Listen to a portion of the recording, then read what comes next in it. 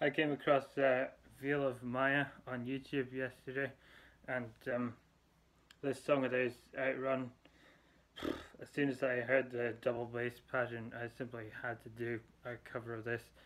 You guys know how much I love my uh, DW4000 double bass pedal. Absolutely fucking awesome.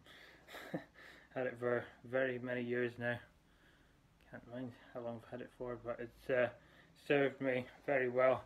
Um, yeah, some very fast, intricate fills in this song, and uh, my go-to response, so to speak, with any fast fills within a song is either this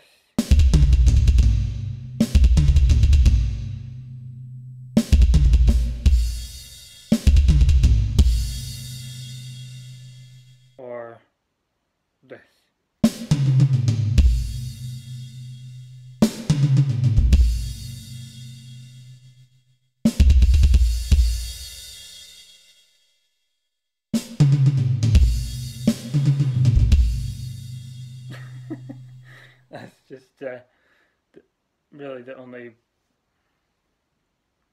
way I can pull off any fast fills with the snare and toms, incorporating the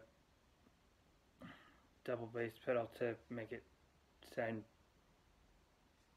even faster, or you know, like a simulation as to what the drummer's actually playing. Um, so you know, as uh, as always, not perfect, but it's the best I can do.